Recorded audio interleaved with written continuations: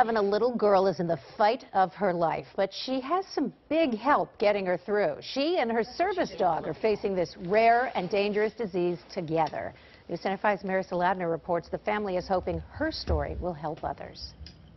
When they look into your eyes and you go nose to nose, it's basically their way of hugging you. Easy. Meet Bella, an energetic, talkative 10-year-old who suddenly found her footing thanks to her new service dog, George, and new treatments for the rare, potentially life-threatening disease she's been dealing with since the age of two. Bella has something called Morquio syndrome. It attacks her healthy bone growth. So that's why she's short-statured. Her hips had issues with them, her feet. Even after nine major surgeries, getting around has never been easy. But it's a lot better since Bella started enzyme transfusions last June Walk on. No, walk on. and since George moved in last month. I had like walkers, Canadian crutches, wheelchair, regular crutches.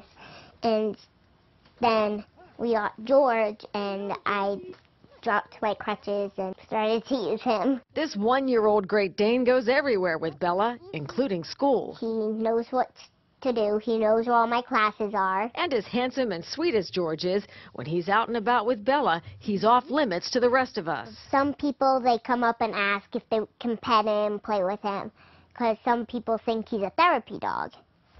So I say, no, you can't pet him. He's a working service dog. A working dog with a big job to do for a little lady with a lot of living to do. Good boy.